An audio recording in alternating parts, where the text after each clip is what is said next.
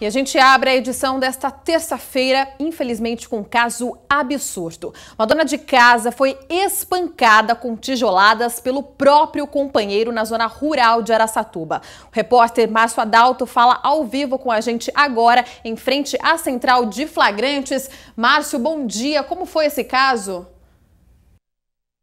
Bom dia, Jéssica. Bom dia a todos que acompanham o SBT Interior. As agressões teriam começado no domingo, quando, depois de uma briga do casal, a esposa e os dois filhos foram expulsos de casa pelo marido. Mas na tarde de ontem, é, a mulher que procurou refúgio na casa de uma vizinha foi encontrada pelo marido, que entrou na casa e retomou as agressões com muitos socos. Ele então teria arrastado ela para fora de casa, pego um tijolo e deferido contra ah, o rosto, o tórax, o pescoço da esposa que ficou gravemente ferida e desmaiada no chão. As agressões só foram interrompidas depois que a polícia foi chamada. Ele então tentou fugir, mas minutos depois foi encontrado pelos policiais e preso em flagrante. Na delegacia, ele respondeu pelos crimes de tentativa de homicídio, invasão de domicílio e também violência doméstica.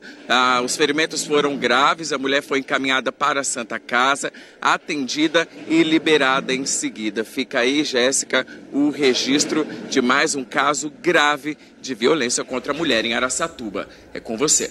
É, infelizmente, mais um caso aqui que entristece toda a nossa região, né, Márcio Adalto? Obrigada pelas informações.